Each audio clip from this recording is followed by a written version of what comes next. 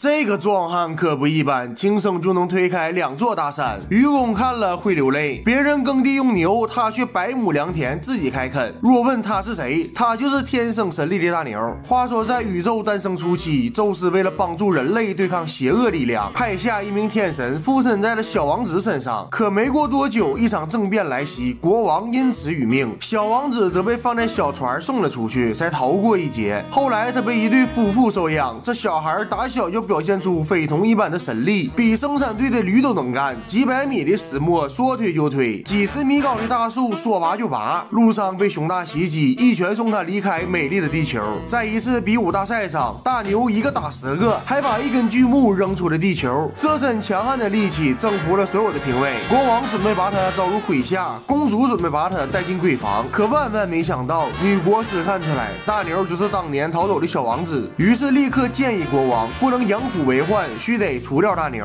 这天，一只巨大的机械蜜蜂从天而降，虎身的翅膀就朝大牛袭来。国王派来的巨型蜜蜂，该说不说有点东西，但还是在几个回合之后被大牛一飞斧劈成短路，从天上掉了下来。国王一计不成，又生一计，他抓走了公主，并将她囚禁，以此胁迫大牛自我流放。无奈之下，大牛在海里游了七天七夜，来到一座小岛上寻找老巫婆，求她帮忙解救公主。作为代价，老巫婆要用她。他的鲜血恢复容颜，才肯告诉他解救方法。事后，老巫婆推算出公主的大概位置，还带他找到一个黑人。此人被誉为非洲之王，麾下有一神器，名为飞马战车，可日行万里。有了它，就可以瞬间到达世界各地。可想要神器，就得帮非洲之王开辟运河。但这对大牛而言一点不难。在老巫婆的魔法加持下，大牛以肉眼可见的速度长成了身高百丈的巨人，推开了两座大山，形成如今欧非大陆的接点——直布罗陀海。侠完成这项壮举后，大牛如愿见到飞马战车，出发营救公主。在通过绚丽的彩虹桥后，他走进长长的地道，来到国王的秘密基地。看守基地的是一个巨大的机械狗。大牛和他大战几个回合，最终凭借一套不解释连招，成功击毁了机械狗。看守公主的士兵虽多，可都不是大牛的对手。